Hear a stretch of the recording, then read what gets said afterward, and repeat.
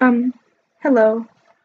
So, I've recently come back to finishing the disbelief map, and I originally only had two parts left to finish, but a bunch of them got deleted. So, I have most of the map, but there are a few parts that still need to be completed. So, if that if you could help, that'd be great. Thank you.